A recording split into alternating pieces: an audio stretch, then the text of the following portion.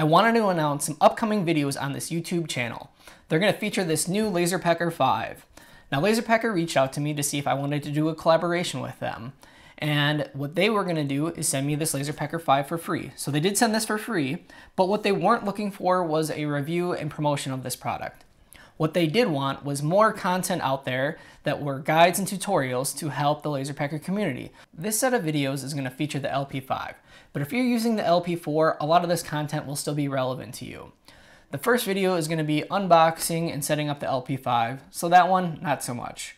But then we're going to take a look at the software for first time users and we'll dig into some of the experimental features.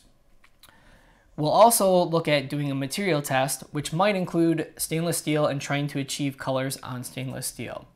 We'll also look at doing your first project, and another video will also be looking at the rotary tool, which will likely be a tumbler, and maybe how do you align on a logo your design and get it centered properly.